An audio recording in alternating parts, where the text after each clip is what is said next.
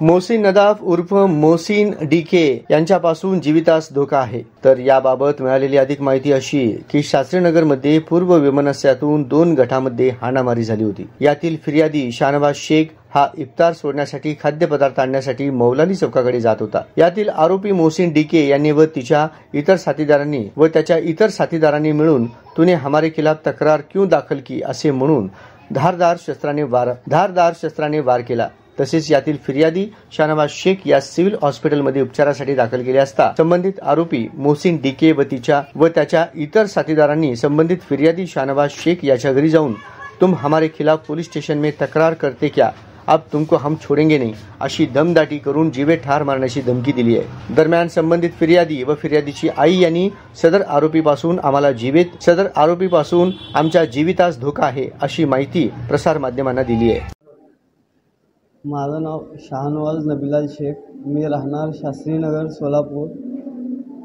दहा तारखेला रात्री ज्यावेळेस मी रोजा इफ्तार क करण्यासाठी भजी घेऊन आलो होतो त्यावेळेस ते मोहसिन नदाब यांनी माझ्यावर वार केले होते.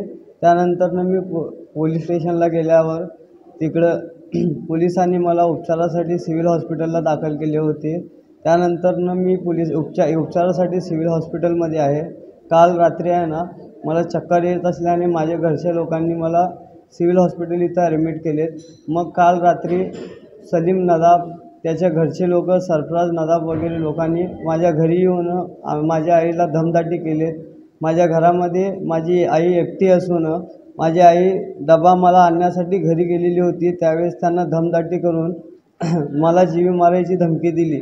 मला साहेब आता माझ्या घरामध्ये मी एकटा असून माझी आई आणि मी दोघं आम्ही करून खायला लागलो. त्यानंतर मला जिवे मारायची धमकी देता येतं. जिवे मारायची धमकी देऊन याच्या पुढं मला जीवाला धोका निर्माण होऊ शकतो याची दक्षता मला टाळता येत नाही. कारण की साहेब त्या लोक ज्या परिसरामध्ये राहतात ते गुंड प्रवृत्तीचे लोक आहेत. गुंड प्रवृत्तीचे लोक असल्यामुळं या ही जी गोष्ट आहे मला ही टाळता येत नाही की याच्यापुढे यांनी माझ्यावर काही करू शकणार नाही.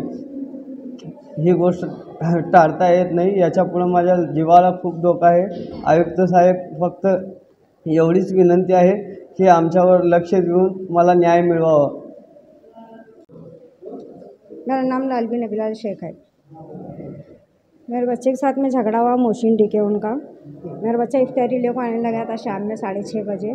उसके साथ में झगड़े कर को मारा मारी कर को, चार जने उसके पीछे लगे। चार जने उसके पीछे लगे तो उन्हें भागते निकला उसके साथ में। वो घर पास भागते आ रहा तो उसे पकड़ को पीछे उसकी पीठ पर वार करे। उसकी पीठ पर वार करे तो बच्चा मेरा वैसा से घर को, पुलिस चौकी गया, पुलिस चौकी जा कंप्लेंट दिया। कंप्लेंट देखो फिर सिविल में जाकर टाके पीके डाले उसे। टाके डाले, उसका इलाज कर को घर को लाई फिर कल ईद थी ईद में था। फिर कल शाम में गए तो रात में आए मेरे बच्चों को लाओ सिविल में एडमिट करी मैं। एडमिट कर को घर को गए बाद मुझे आगो धमकी दे रहे हो। मेरे बच्चों को चक्कर आ रही थी बहुत। कौन धमकी दी? वो सरफराज नदाफ चार पाँच छोकरन आए थे उसके साथ में। आप मुझे बोल रहे कि तुम केस पीछे लेते कि नहीं लेते? तुम केस अगर पीछे नहीं लेंगे तो बहुत बुरा इंजाम होगा तुम्हारा।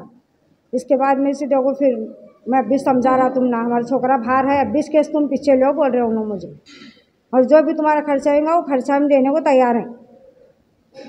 ऐसा बोल रहे हो ना। अभी तुम्हारी क्या मांग है? अभी हमारी मांग ये है देखो मेरा बच्चा एकला है घर में एकला रहने वाला वो मेरे बच्चे का रास्ता आने जाने का वोच है। उन्होंने धमकी पर धमकी देने लगे सो अगर तुम नहीं सुनेंगे तो तुम्हारे बच्चे का आने जाने का रास्ता वोच है। हम कुछ भी करेंगे तुम्हारे बच्चे को करो ऐसा बोल रहे मुझे। और मेरे बच्चे को पीठ को ऐसा वार करे सो देखो सब कैसा वार है देखो मेरे बच्चे की पीठ को और देखो इतना बड़ा वार है मेरे बच्चे की पीठ को चक्कर आ रही उसे बैठने को नहीं आने लगे सो मेरे बच्चे को दो।